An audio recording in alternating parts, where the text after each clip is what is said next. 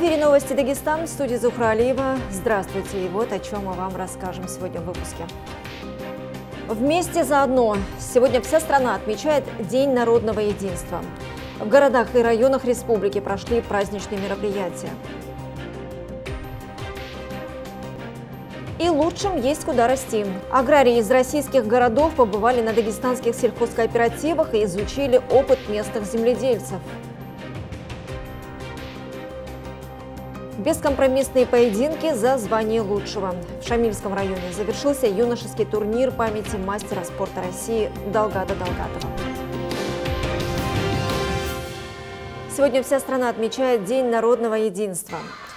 Мероприятия, приуроченные к этой знаменательной дате, прошли в городах и районах республики. Так, в Махачкале на одной из центральных улиц около Русского драматического театра была развернута концертная площадка.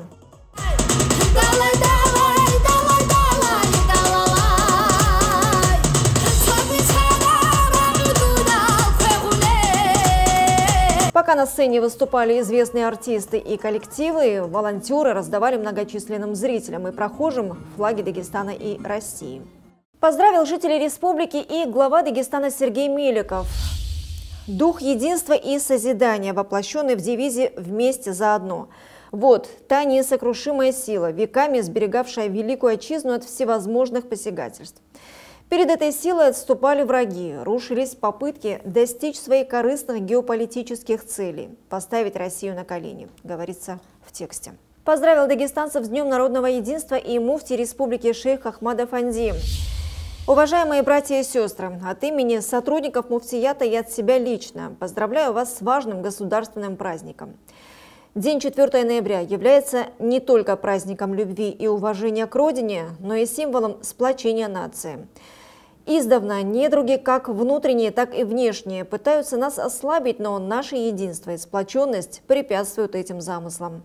В беде мы объединяемся и становимся самой сплоченной и непреодолимой силой, говорится в тексте. К другим темам. Дагестан привлекателен не только для туристов.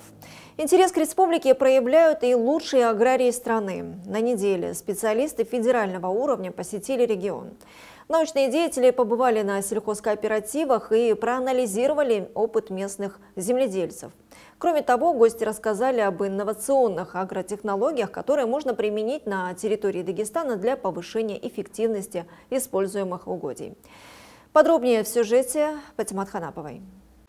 У Дагестана хороший показатель в агросекторе, но, как говорится, всегда есть куда расти. В этом республике готовы помочь и специалисты ведущих профильных научных центров страны. Профессор Николай Зеленский уже несколько лет консультирует сельхозкооператив в селе Аксай. Хозяйство перешло на инновационную технологию прямого посева, что уже дает ощутимый эффект. Это позволяет нам в, любые почвенные, в любых почвенно-климатических условиях, засушливых, увлажненных, получать стабильные урожаи при очень низкой себестоимости. И самое главное, что эта технология позволяет сохранить плодородие почвы. Это, будем говорить так, мы заботимся не только о настоящем времени, о нас, но и о наших детях и правнуках, которым достанется основное средство производства. Аграрии села Аксай прислушались к совету профессора 6 лет назад. Они постепенно начали переходить к технологии нулевой обработки, что обеспечило кооперативу хорошие показатели. Во-первых, удалось исключить задержки по заработной плате, выйти на стабильный урожай и сократить расходы. Взяли 6 лет назад, когда он э, впервые э, начал не пахать. Это было и для министерства шокирующим как можно не пахать а, и выращивать, э, получать урожай. И зерновое поле в этом хозяйстве еще глубже укрепился в убежденности, что выбрал правильный вектор земледелия. И сколько у вас сегодня э, площади обрабатывается по нулевой обработке? Вся полностью площадка. Услышьте, вся площадь э, пашни... А сколько это? Это сколько гектаров? Где-то у меня всего 3000 гектаров. Орошаемые все, да? Нет, нет, не орошаемые. Вот как раз за влагу, он борется за влагу. От того, что не дефицит, от того, что не хватает. занимались бы орошением, но это кучу проблем нам создает. Делегация провела и встречу с дагестанскими земледельцами. Ведущие производители зерна из 10 районов республики приехали в Хасавюртовский район, рассказали о своих успехах, проблемах и узнали от авторитетных российских экспертов, какие методы можно внедрить для улучшения своих показателей. У Дагестана очень э, развитый аграрный потенциал, и перед нами ставят задачи э, вовлечь его полноценно и не опираясь на инновационные технологии – не опираясь на достижения науки, сложно его полностью реализовать. В этой связи Министерство сельского хозяйства и продовольствия предпринимает меры по э, установлению тесных связей между наукой и практикой. По итогам визита Министерство сельского хозяйства республики вручило почетные грамоты участникам встречи за многолетний труд и большую работу по внедрению эффективных технологий в земледелии. Патимат Ханапова, Мурат Бекбарзов, Новости ННТ, Хасавюртовский район. Министерство по чрезвычайным ситуациям Дагестана отправило первую партию груза для участников специальной военной операции.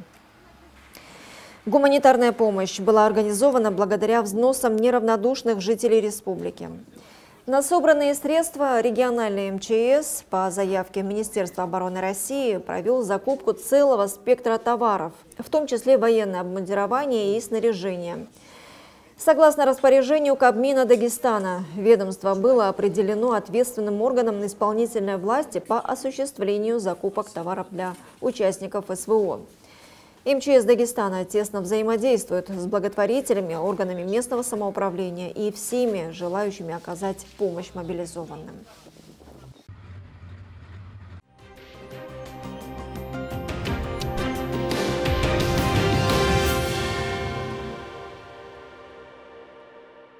И о спорте. Победой хозяев ковра в Шамильском районе завершился юношеский турнир памяти мастера спорта России Долгата Долгатова. Ежегодные соревнования собрали в районном центре в селении Хебда спортсменов из Гергебельского, Унцукульского, Хунзакского и других горных районов Дагестана. Подробности в сюжете Курбана Рагимова. Ему слово. Турнир памяти призера первенства мира Долгата Долгатова проводят с 2014 года. Семья, близкие родственники и Хибдинская детско-юношеская спортивная школа сделали все, чтобы участники чувствовали себя максимально комфортно. Для них было предусмотрено питание, оригинальный наградной материал и денежные премии за победу. На торжественной церемонии открытия юных борцов приветствовали спортивные функционеры и представители районной администрации. Хочу от души, от души выразить вам благодарность и спасибо что нас поддержали, приехали к нам. Вот все вещи такие титулованные спортсмены становились из, из таких соревнований. На коврах местного дворца спорта идут упорные и бескомпромиссные поединки. Юноши из разных горных районов оспаривают золотые медали в восьми весовых категориях. Здесь борцы не только проходят обкатку, но и получают соревновательный опыт. И как в одном все хорошо прошло организация. Хочу поблагодарить всех э, спонсоров, именно вот э, организатор, именно который все вот этот э, вообще расходы на себя берет, отец покойного Долгата Долгатова, Магомед Долгатов, сам тоже ветеран, выступал по ветеранам в борьбе, очень такой болельщик вольной борьбы. Несмотря на юный возраст, спортсмены показывают зрелую борьбу. Каждая удачная атака встречается аплодисментами болельщиков, заполнивших арену. Не подвели и участники, почти все финала держали зрителей в напряжении. Самой конкурентной вышла схватка за золото в весе до 74 килограммов. Именно в этом дивизионе боролся Долгат Долгатов. А здесь представитель Гиргебельского района Магомед Идрисов оказался сильнее хозяина ковра Нурмагомеда Нурмагомедова. Соперники все были достойны. Э, всем спасибо за поддержку. Я в Шамильском районе не первый раз, поэтому этот раз мне удалось выиграть. И все же натиск хозяев ковра борцов из Шамильского района в этот день остановить было сложно. Победителями стали Ахмед Исмаилов, Абдулла Гаджимагомедов, Али Абакаров, Хирамагомед Амаров, Гусейн Магомедов и Ахмед Лабазани Ахмаев. А золотая медаль еще одного спортсмена Ахмеда Курбанова уехала в Унцукульский район. Курбан Рагимов, Дауд Гасанов, телеканал ННТ, Шамильский район. Смотрите нас на нашей странице ВКонтакте и на Яндекс.Дзен. А у меня на этом все. Добрых вам новостей и до встречи.